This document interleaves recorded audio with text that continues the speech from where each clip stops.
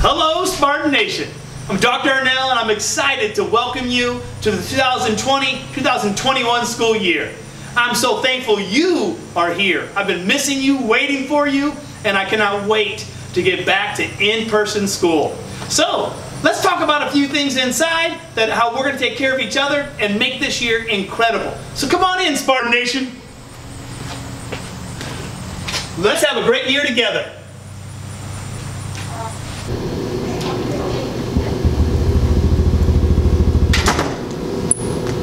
All right, guys, now that we're in your high school, what's the first thing you should do? You should stop and tell the teacher in front of you right now how awesome they are. So let's do that. On a count of three, let's say you're awesome. One, two, three. Did you say it? I hope you did, because you have an incredible teaching uh, teacher standing in front of you right now. They're here to take care of you, to support you, to help you grow academically, and to help you grow socially and emotionally. So you're going to hear some things on our video today that speak to things that are important to all of us so that we all can possibly follow some new rules, some new regulations that will ensure that we have an incredible learning environment for, the incredible, for this entire year. So things like mask, find a system so that you can have your mask on anytime you're in the hallway, anytime you're in class, have a system. We want you to be safe, we want our, our faculty to be safe, we want our staff to be safe. So please understand this is all thing, all the things we're asking you to do are for all the for the betterment of all of us. To minimize contact, we are asking all faculty, staff, and students to stay to the right as we walk and talk and navigate our hallways. To ensure we reduce the spread of COVID, we ask all Spartans to maintain a social distance of six feet and to not congregate in the halls prior to school, during the passing periods, or during dismissal. Face masks are required to be worn at all times to ensure the safety of Spartan Nation. This includes before school, during school, and after school, as well as after school events. Capacity limits have been developed for commonly shared spaces during the school day.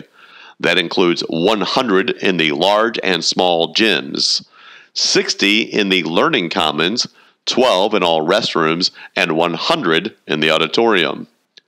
COVID symptom signs will be throughout Francis Howell Central to allow intelligent decision making when to stay home. Hand washing signs are posted in every restroom to promote healthy hygiene. During arrival, following our district requirements, no one is allowed in Francis Howell Central until 6:50 a.m. and students will be asked to go directly to first hour class. All students must be supervised by sponsors and coaches if entering before 6:50 a.m. for any club or sport meeting.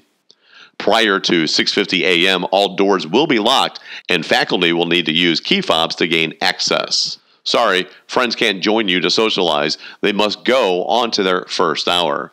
No congregating, finish eating, and go directly to first hour. To support a social distance dismissal from Francis Howell Central, we will alter which floor is dismissed each week.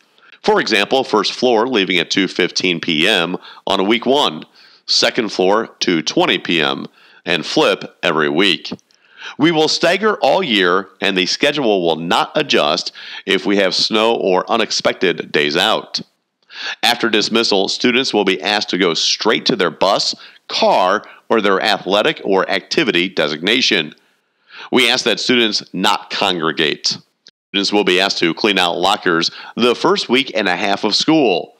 Students that desire a locker will need to opt in before September 9th by completing the Google form linked by a QR code. Mrs. Borders and Mrs. Lippin will work together to reassign lockers and ensure that they are socially distanced. Hand sanitizer will be in each room. Lemon Quat, an effective cleaning agent, and towels for cleaning desktops and shared surfaces and equipment will be in each room. Custodial staff will use Quat for hard surfaces every evening. High traffic areas will be cleaned on a regular basis throughout the school day. There will be relaxed tardies, be understanding of capacity limits of bathrooms and time restraints for usage. If concerned about tardy abuse, please work with assistant principals to monitor students' hall traffic. There should be no universal bathroom passes. Issue a new paper pass every time to promote cleanliness. Relax the bathroom passes to allow bathroom use and consideration for students honoring the capacity limits posted. Continue to use sign in and out practices when students leave classrooms. No outside food or special deliveries. Canvas has been designated by the district as the LMS to support student learning. There will be check ins daily for students. The 2019 2020 closure activity on September 1st. And if you have any questions, see your principal, see your um, counselors, or see your teachers, and we can help you explain and work through and understand so we can take care of each other. We have adjusted our normal three lunch period schedule to accommodate five lunches.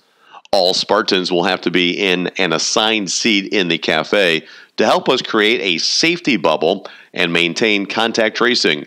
Students will choose their seat and table to allow for a wonderful social time. Sign in sheets will be issued for every table to create a seating chart. Lunch supervisors will remind students that they should sit in the same place every day per the developed seating assignments. During lunch, students will remain in their seats and be released to classes at the end of the lunch. Traditionally, students congregated prior to lunch dismissal.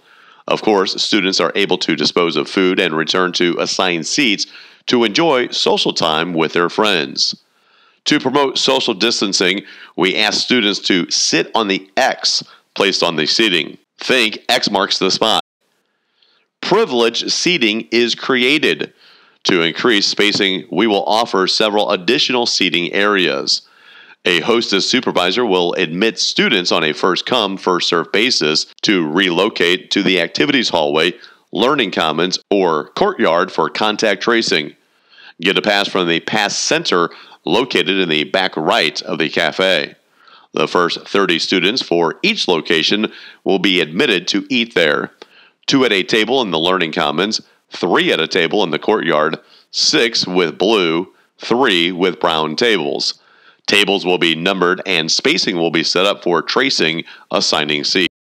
Congratulations, you've made it through your first day of school. And now that you've made it through your first day of school, we got one more order of business, and we've got to get you out to your buses in a safe and orderly fashion. In your seventh hour class, you are going to be getting a sheet of paper that has your name, your bus number, and your bus slot.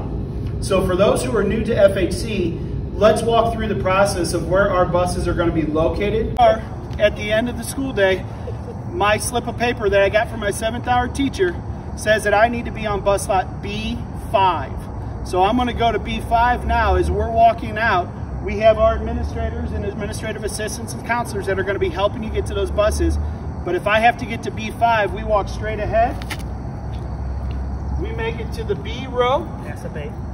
And then I'm gonna make a right in the first bus in the B row here in this second set is B5. B5 is gonna work our way back. I go to the bus driver and I ask him, is this B5? And that bus driver will confirm that you are on the right spot for your way home and you will get home safely. Congratulations on making it through your first day of high school.